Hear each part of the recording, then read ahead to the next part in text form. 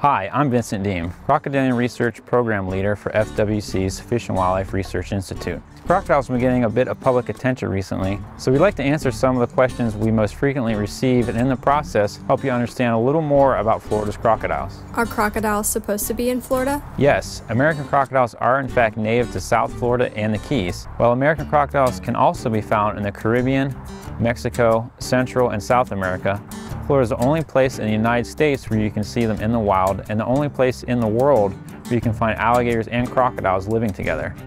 Are wild crocodiles in Florida saltwater crocodiles?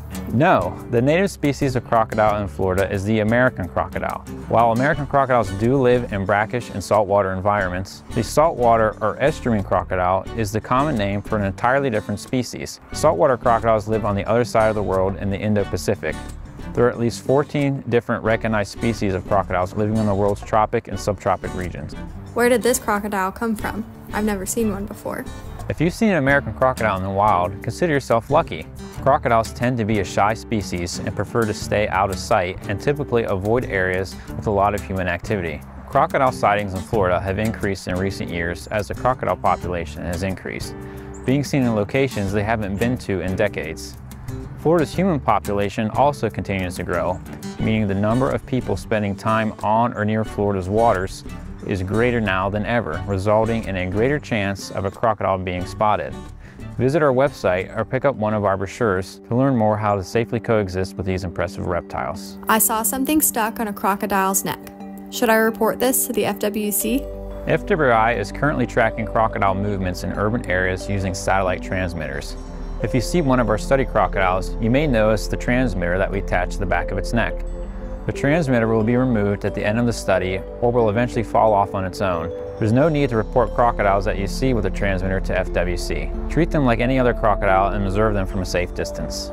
Could you send me crocodile location information? We're unable to do that for a couple of reasons. The transmitters we use do not give us location information in real time, and because crocodiles can swim dozens of miles in a single day, we have no way of knowing for sure where a crocodile is at the present time.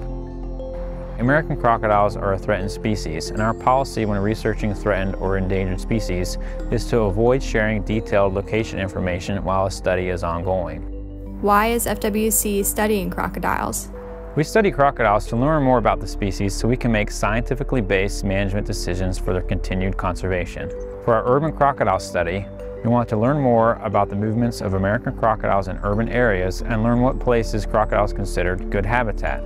We will evaluate how human activities affect crocodile movements and suggest ways to promote coexistence between crocodiles and people. There may be more crocodiles in Florida today than there were a few decades ago, but there's still a lot to learn about this federally protected species. The more we understand, the better we can manage the species for its continued recovery.